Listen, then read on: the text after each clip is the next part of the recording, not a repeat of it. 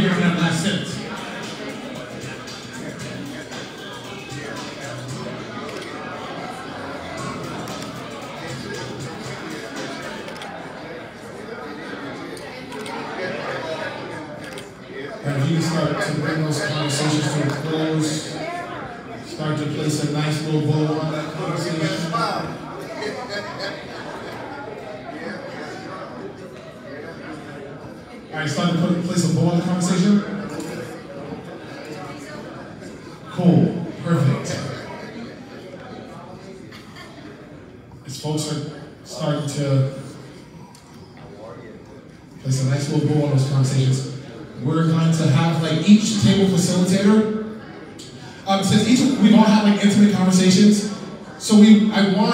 Folks to hear like some of the chatter that's in the room. So we're gonna um, what's that, each table. So I'm, I'm gonna ask like the table facilitators. They're gonna stand up and they're gonna share like those those three big insights. Those three big insights from from each table. Cool.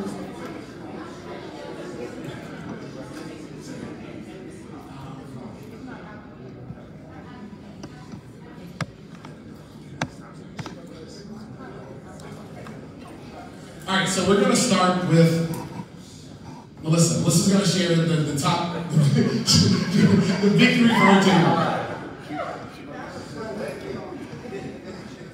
Um, so our table had an awesome discussion. We talked a lot about the history of Nash County and the school systems that went all the way back to 1871. So I got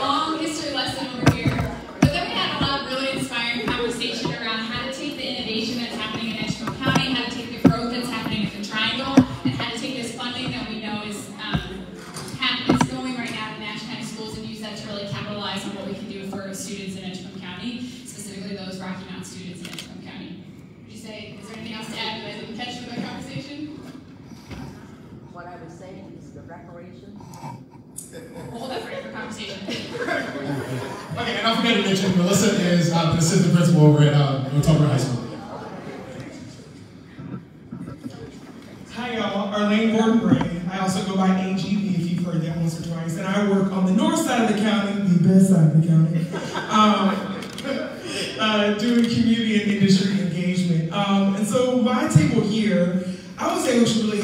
two main points. I'd just like to dive deeper into less. Um, but the first one is around transparency. So full transparency around this process, and I know we've seen a lot here today, but also we've got an educator in Nash County, and she's wondering where our parents are at.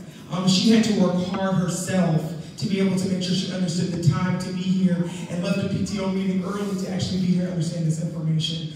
Um, and so just ensuring that throughout the process we're being very transparent on what this looks like, what this means, and how do we even get here, and we're sharing those facts. And then the last one is, I'm actually just going to give the quote from Mr. Nehemiah Smith, which is, how is it that we are made whole with our contribution? Um, so really, as Nash Edgecombe County taxpayers, the fact that we paid into buildings um, that our kids will never step into, and what does that mean for the future? And I mean, there's some strong thoughts about are we inheriting buildings that are run down versus there are some new buildings in different part of county that we paid into. So those are my two. We had some deep discussions, you can see.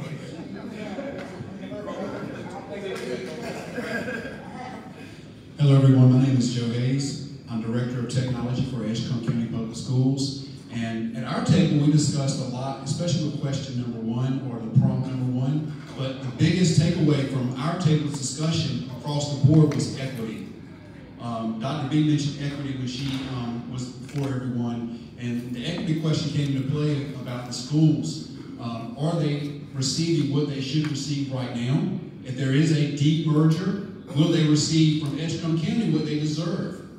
Um, will they be made whole, as this table said? About the schools, um, these schools, we want students to feel pride when they walk into a building, whether it's these buildings or a new building or another location, but we want pride across the board, and these students deserve it. Um, the last thing I would say is we did have a short discussion about the term demerger, and it was that a positive term or a negative term when it goes out into the community. So that was one concern too.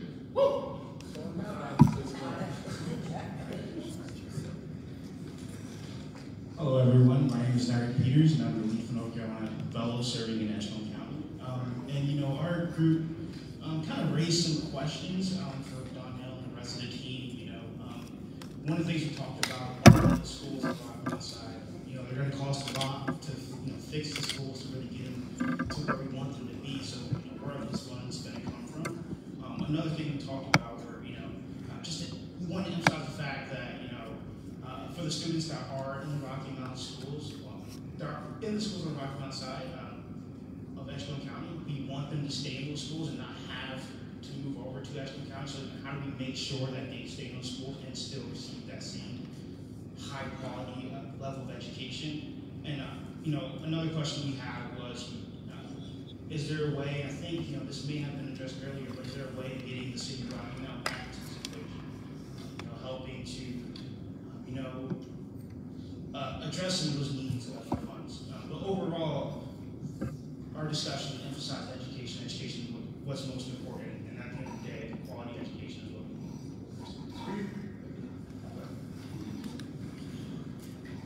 Good evening, everybody. I am Kelsey Ballard. I'm the principal at West Edgecombe Middle School. And so our table, we had three big wonderings. The first one was about the quality of education. So really a desire for um, to make sure that we're not moving backwards, but that we would be moving forward and be pushing towards um, an even better education experience for our students. The second was about the funding and lots of questions about how do we make this work and who's footing the bill on this and how does all the, the dollars add up. And then the third was really about engagement. A couple of different ideas we talked through. Mentors, what would that look like in schools and how could we amplify that? Life skills, like truly preparing students. Um, Mr. Silver's re um, referenced our um, um, I'm blanking on the word, our 25 graduate aims. For the time we hit 25, we want our students to have, and, and Dr. B referenced that list. And so really saying, okay, what do we need, what do students need in order to be prepared to for this dream that we have for them by the time they're 25? And then also experiences, and Donnell spoke to this earlier, but what experiences do we want students to have when they're in our buildings and when they're on different campuses and when they're in places in the community, what experiences do we want them to have on a consistent basis?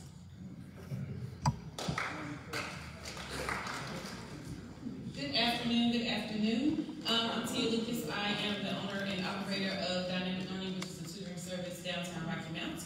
Um, so my table had some very, very, very deep discussions, but I'm going to narrow it down to two.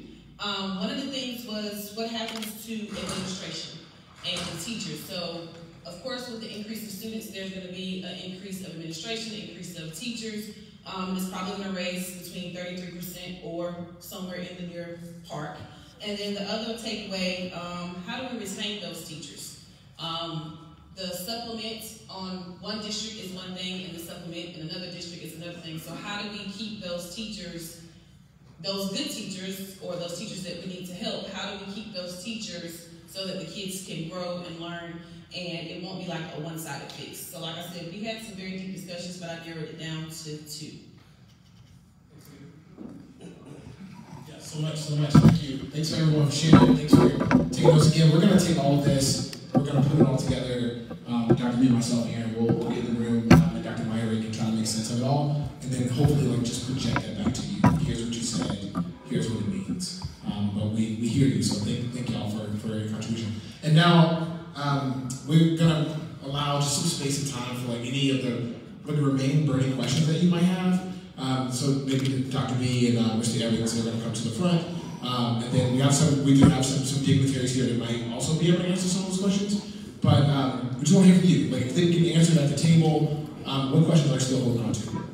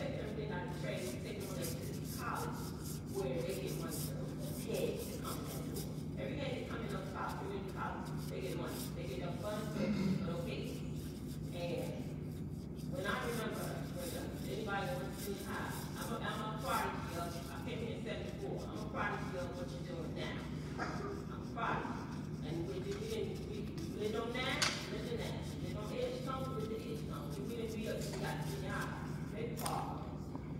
Now, I'm a prodigy of that, and that, this is what I see, it coming right back. And the, um, the, the guys that I talked to and I have dealt with through the community, they used to have a shop, they used to have an automotive class. That's in the house. They would bring a junk car.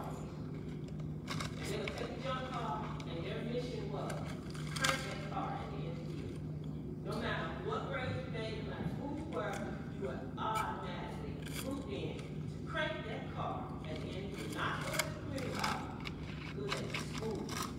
They train the kids at the school. The kids, when they, when they get to school, when they get to senior high, they're not academically there, they train the kids at the school, you're pushing everything over to community college, where they get the money, that's where your money is, because the heads go in. Yeah, so, so we hear you. We, like, one, we want more equitable outcomes for children. Secondly, it sounds like, like we want to embed some of these other like experiences and skills, right? Like, so you say trade a lot, we want to bring those back to school. Yeah, we hear that, and then again, you want equity across scale, right? So like the same opportunities that are afforded to students who are academically exactly. Then and so so we, we hear you, hear you loud and clear. Thank you. Uh, I'm sorry. Who, who's anyone else have a question? Hey man. All right.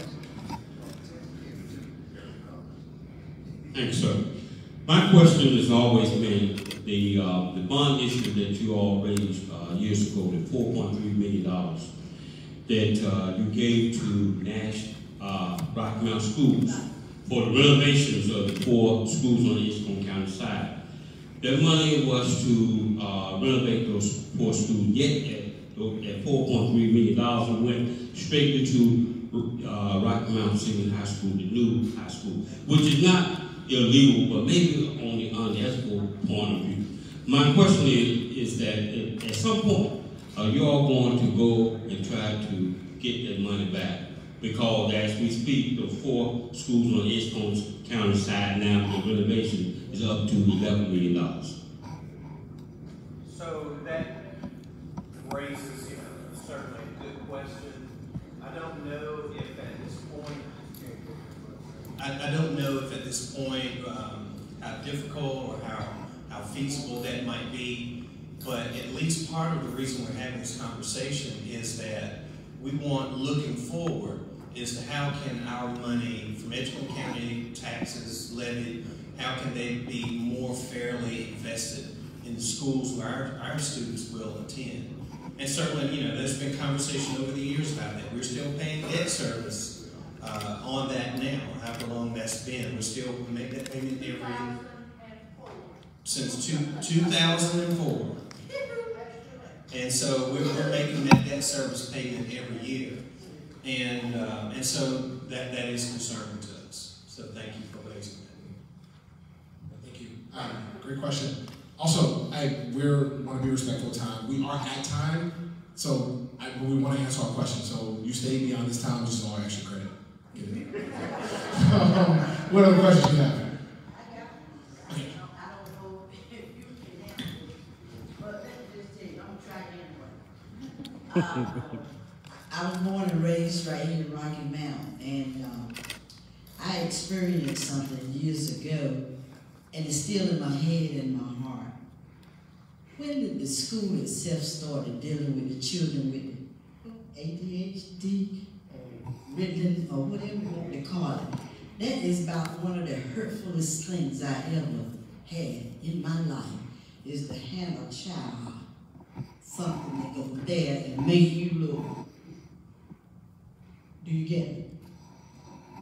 How long has this been going on? Why is it? And can you solve? You might can't solve it, but it's a situation that I, I just couldn't handle. I hope that you don't have to do that too many more times with children. Same as this. Yeah, we, we, we hear you. We hear you loud and clear. Um, yeah, we hear you. And I'm, I'm sure that that might happen in some places, but yeah, we hear you. Yeah. Really quick, is, is there anyone else that might have a question? I got a concern, not a question.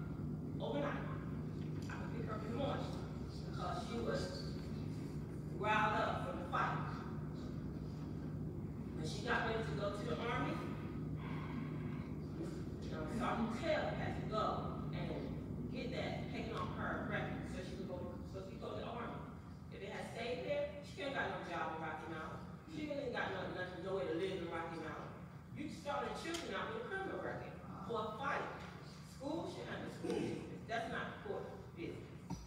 What are y'all gonna do that Rocky Mount has not done? Yeah, so thank you for the question. Um, I think it's important that we hear what you're saying because a lot of times when these things happen, we don't know exactly how it impacts individual students. Um, I've not heard of that, and I've had several principals and assistant principals in the room. I've not heard of that happening, but for us, I think that's something for us to think about and to inform our um, our discipline practices. Right now, we are working on an equity plan that looks at our policies and looks at the way we, we treat our students and what kind of infractions our students are having. So again, I can't answer what will we do. What we want to do is do better than what we just heard you describe. And so we appreciate you sharing that with us because as we're meeting and we're talking, it's our job to make sure that doesn't happen to our students. But thank you. Thanks, thanks, LB. Ms. Mason. Yes. Uh, like I said, I got a concern. Um, been active in the school system since the early '80s, along with um, Mr. Evelyn Wilson and Mr. Ann Kent, and um, the school system endured to me. But what I thought I was going to see, and I'm, I'm, I'm, I'm good with what y'all are doing, but when it said the merger, I was hoping it was going to be some discussion on the uh, Senate bill um, you know, educating the people on that. I know you're focusing more on design, and that's fine, whatever way you go with it, because I live in Pinetops, but I'm still concerned. Um, I just wanted to see some more input on, uh, uh, some more education on the Senate Bill 382. Um, how long do the county commissioners plan to um, let it go until they make a decision? And then when they do, uh, where the money gonna come from? And you're talking about designing schools, uh, where that money gonna come from? I mean, I, I just think, you know, I understand about the design of the schools and all that, I'm for all that. But like I say, I think people need to be educated on the Senate Bill 382. And I would like to hear my representatives, like uh, Representative Shelly Willingham and all of them, uh, where do they stand? I mean, I've heard our county commissioner chair say he's for it, and I'm quite sure everybody, a lot of people's for it. So if we're for it, how are we going to move forward? You know, how long are we going to let this thing linger on? We need to be coming to some kind of conclusion so we can know how we want to do it and how we can move forward. Thank you. So, um, earlier I, in, in my presentation, I talked about. Gotcha. So uh, earlier I, I shared the, the main, what, six bullet points from Senate Bill 382, which became session law 2016-14. Um, you know, it's about a two-page, three-page bill, but those are the six main points that come out of it. And, and, and I agree. I think our last meeting, this meeting, and, the third meeting is, is another opportunity for us to continue to share this so people can understand exactly, you know, the statute that, that we're standing under right now. And, and you know, the, really the predicament it puts us in as, as leaders in Edgecombe County. So, you know, I appreciate you being here helping us to uh, share this information. You know, obviously there, if we move forward in this, there's a lot of consideration about what will we do and how will we pay for it. So first of all, we need to make sure we clearly understand that Edgecombe County, we are putting out a lot of money for those 16, 1700 students. We're happy to do so. Um, if this happens, that money then comes to our school system.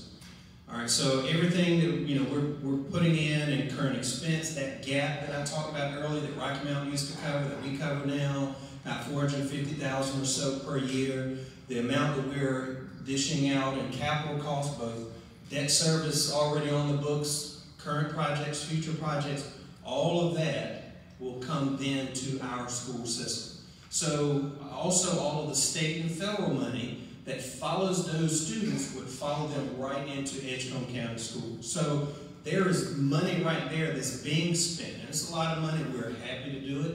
Education is a priority for our board. We're happy to do that. So there's a lot of money all the way from Edgecombe County to Raleigh to DC that will follow those students right up. Now, obviously, there are some additional things we want to do. That money is not necessarily there. Uh, if there is work that needs to be done to any of those four schools that need to come over, um, that money is not there. If we want to try to do it all at one time, that's not something that we, is feasible for us to do. But certainly those buildings would become our responsibility. Thank you. We, we have, okay, and then I'm going to go here ahead. We have, let's come back last question two, right? And my superintendent of unfortunately told me I got to spend the night to answer all the questions. if y'all still have some uh, after this. I, I just want to um, say first, thank you for having these meetings uh, because this is what we need in the community. The question was asked, where do I stand if we, we're talking about the emerging? Let me just tell you that uh, I've been involved with this since the beginning. I was one of the original students when we sued the Nash County Rocky So I've been working with that since that time, so I'm very familiar with it. Also, part of the discussion we had bills you're talking about, I was part of those things in that negotiation. And I know one brother, like I said at the beginning, I fought against county and merchant because I thought that was the best way for us to educate our children. So everybody going through the same, you know, we all live in the same community, so we should be going to the same schools. But over the years, with the things that's happened in it, uh, with our students in the uh, Nashville school system, made a complete turnaround. I support diversion. I think we should take our students back. And there, uh, to the discussions, and I can assure you there are resources out there to help us to do what we are trying to do, what we're talking about doing. And I can assure you, I've traveled around the country, and around the state, uh, there is no system that's better than Edgecombe uh, public school system. I can tell you that. Uh, you have some of the best people in the state working on this.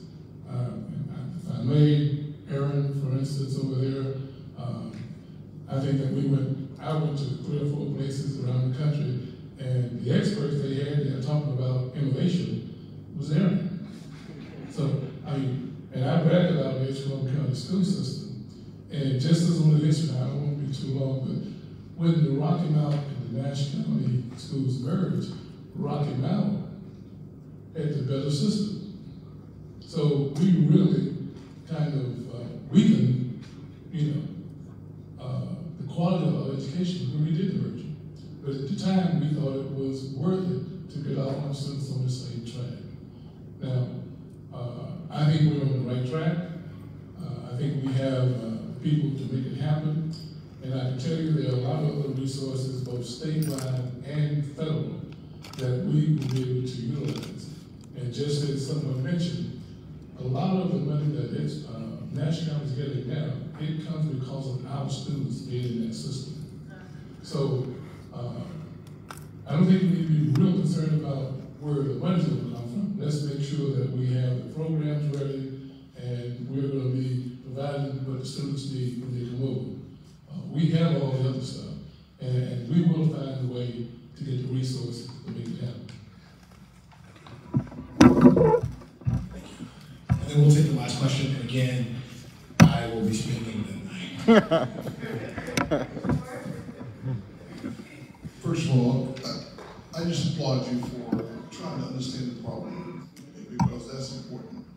And so to your, your, your comment, I think I heard you say that one, the decision is not fully made yet. So right now they're in the process of trying to understand where you're headed. And I'm not going to give all my other thoughts because the elected official has already has already answered some of them, and uh, that's his job. But I, I, do think it's important that you all stay actively engaged in, in, this process. And I would ask that you look at the metrics that we used for the accounting and make sure they don't change in the process. The, the last piece I would even ask is that, uh, Madam Superintendent, you are you are the fulcrum whether this thing is right or not right because they're putting a lot on you. One third of your weight is just going to be added to you. And I'm concern. So just make sure the metrics don't change. And hopefully, one of the things you have in your kit bag is the possibility of even a second superintendent. Just a thought. So might be all we need, man. You're good. I'm going to take it home. So again, thank you, right? Thank you for sharing your thoughts. Um, I appreciate Mr. Evans so much just giving us a, a view. I, I, think we asked for a little deeper. We can work on that. I think Mr. Kenyon, you said you'll put the Senate bill up on the website, and maybe next time we'll go a little deeper. Um, but everybody has to do their homework, right? So you have to check and you have to ask. I think as Mr. Cannon was talking with lots of parents and community members, there were people who simply just didn't know. Like they didn't know this was happening or this, actually this has happened, right? It has not taken effect because we continue to, to send money to cover our students that are there and make sure. So on the overhead, you see a, um, uh, you see a survey. You can certainly use your phone. Um, they're at your table. Um, this is to gather more information so that, that Mr. Kenny can kind of look at the information. If you will, please complete the survey. We ask that you do that. Again, we thank you for coming out tonight. If you have questions or things that we didn't get to, there are index cards on your table. Take a minute, capture those thoughts, leave them for someone who you've seen who's a, your table facilitator. And then our next meeting is May 18th. We will be at ECC, the Rocky Mount campus, 5 to 6.30. If there are others, I think I heard a, a staff member from NASH say some don't know. If you would help us with how to maybe make that happen, you can connect with Mr. Cannon so that the, um, the 18th we can have more staff, more parents to join. We want to hear from parents. We want to hear what their thoughts are um, about the process. And then as county commissioners, both boards, we will meet again on May 31st. So that gives us some information to hear from you all three different times. We met on the 3rd, today the 10th, and the 18th. And then we'll meet again on the 31st to both boards and share information and unpack some of the things that you all asked tonight. Um, and that's our, that's our next step. Thank you, thank you, thank you. Um, England has a handful of like flyers, and that has all the survey information on it. You can flip on the back, try to capture the timeline of all this succinctly, so just another point of information. So please take a few of those, share them out in the community so that we can get the survey out. It's also posted on our website. So if you go to ecps.us, right under the merger, you'll see uh, the survey is also located there. And it's on all of our social media pages. So, but thank y'all. We'll see y'all next week.